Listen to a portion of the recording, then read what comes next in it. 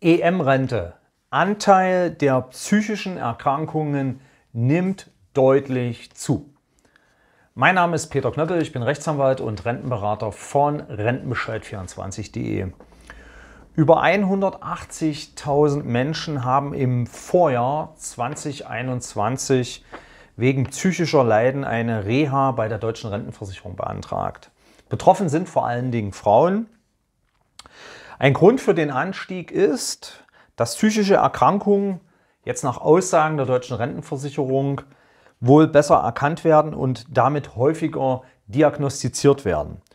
Und damit natürlich auch die äh, Zahl der Anträge bei der Reha, bei der deutschen Rentenversicherung immer mehr steigt. Und was wir in unserer Kanzlei wirklich beobachten können, dass der Arbeitsschwerpunkt bei uns seit circa zwei Jahren im Bereich der Renten wegen Erwerbsminderung tatsächlich immer mehr im Bereich der psychischen Erkrankungen liegt. Das heißt also bei uns in unserer Kanzlei bearbeiten wir immer mehr Fälle von Menschen, die wegen psychischer Erkrankung nicht mehr arbeiten können und so schwer krank sind, dass sie auch tatsächlich für längere Zeit aus dem Erwerbsleben ausscheiden werden oder schon ausgeschieden sind. Was uns in den Zahlen, die wir hier bearbeiten, jährlich ähm, sehr klar wird, ist, dass es sich sozusagen immer mehr um Menschen handelt, die in Leitungsfunktionen sind, die auf Management-Ebene arbeiten, aber natürlich auch viele Frauen. Das haben wir auch festgestellt.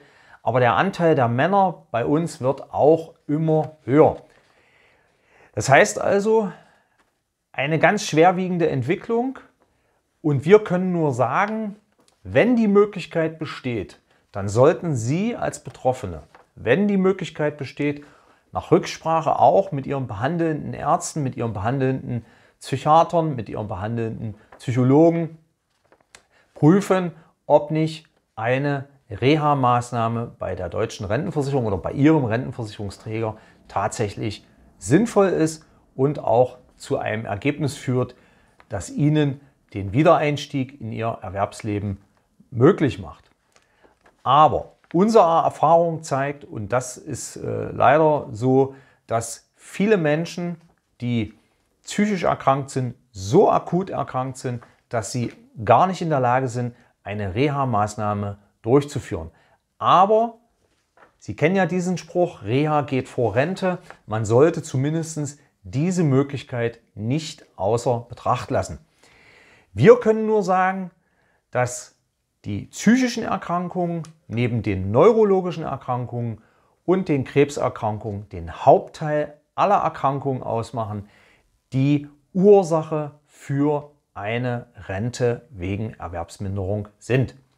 Näheres zu diesem Thema finden Sie auf www.rentenbescheid24.de. Ich wünsche Ihnen eine rentenstarke Woche. Ihr Rechtsanwalt und Rentenberater Peter Knöppel.